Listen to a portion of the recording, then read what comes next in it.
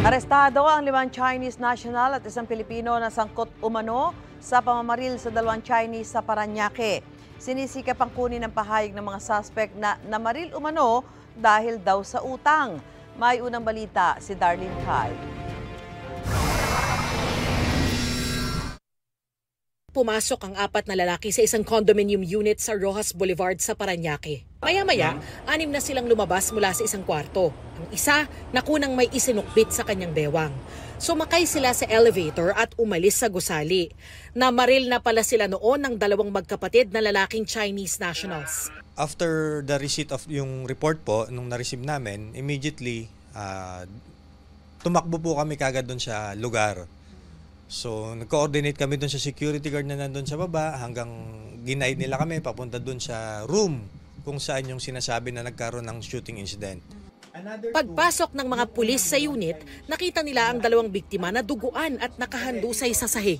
May tama po sila ng bala sa ba- ah, bandang baba ng ah, lower part ng body nila. Isinugod sila sa ospital at stable na raw ang kanilang lagay.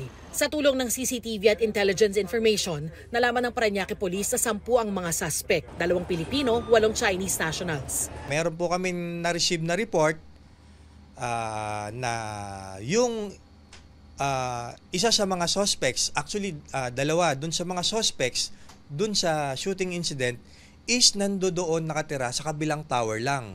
Matapos yun, sunod-sunod na ang nangyaring pagdakip sa ibang suspects. Isang Pilipinong tumatayong bodyguard daw ng grupo ang inaresto sa kanyang bahay sa Paranaque. Sa loob ng isang hotel room na ito sa Pasay City, inaresto naman ang dalawang Chinese nationals.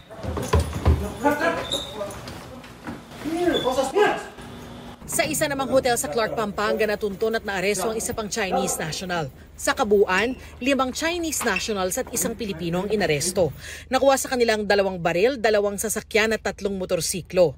Lumalabas sa investigasyon na may utang ang dalawang biktima sa isang grupo ng Chinese nationals na nagpapautang sa casino players. Ba- Based on our initial uh, inquiry and uh, investigation, uh, walang lumabas na Pugo related or IGL related these uh, involved personalities and uh, they were employees or casino sila nagtrabaho and they have their own uh, junket Ang arestadong Pilipino, dati na raw nahuli dahil sa carnapping at robbery. Ang isa naman sa mga Chinese nationals ay may kaso ng coercion. Apat pa ang pinaghaharap ng motoridad kasama ang umano'y big boss ng grupo na Chinese national din. Nasa loob lang daw sila ng sasakyan kaya hindi nakuna ng CCTV.